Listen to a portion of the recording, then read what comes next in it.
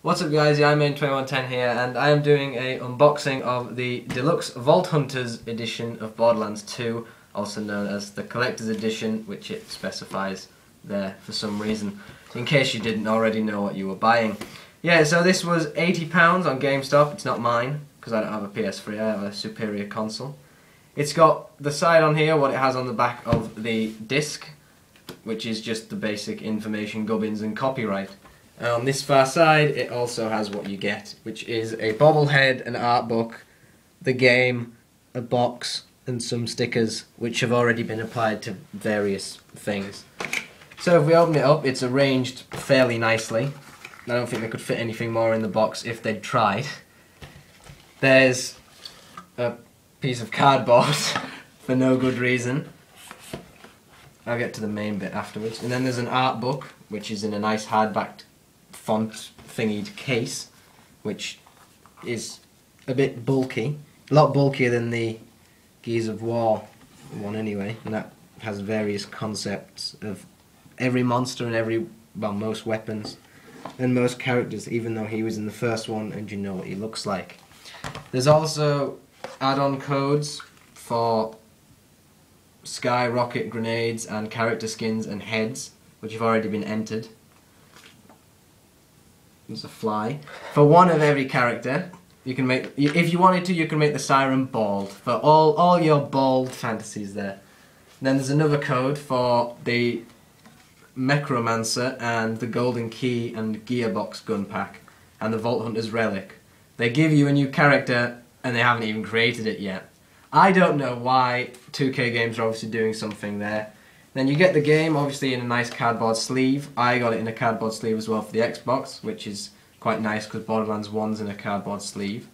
I don't know why they put it in, why, why they couldn't just give you it like that. I won't know, but that's the game. It's got bad language, violence, and online. And then it says text, voice, and manual. I don't know what that means at all.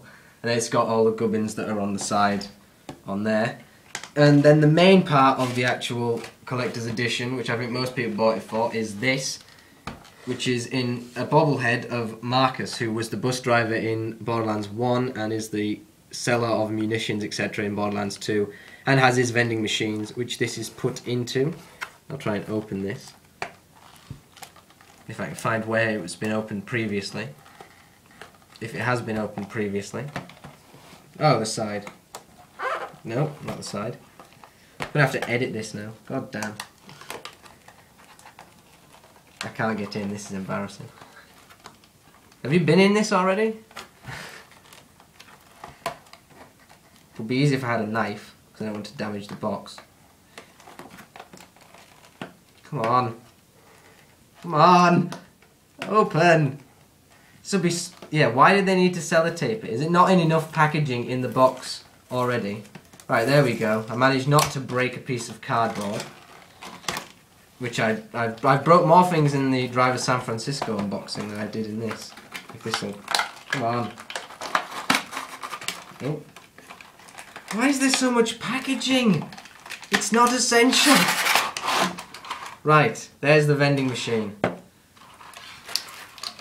And then here's Marcus. He's very detailed quite small. He looks a lot bigger with there because they have him comparison with the art book, which is a lot smaller than. He's bigger than the art book on there, and he is on here, but he's, it looks a lot bigger on there than it does on here. Yeah, it's quite a nice, nice model. For eighty pounds, you know what you're getting. Really, would be nice if it said Marcus across there, but that's just me being picky. Yeah, that's He's got gold teeth, never knew that. So that's the Borderlands 2 Collector's Edition. Uh, I have Borderlands 2, so obviously all the information if you want to play Borderlands with me is on my channel. Thank you guys for watching. Uh, comment, like, subscribe, and I will see you next time.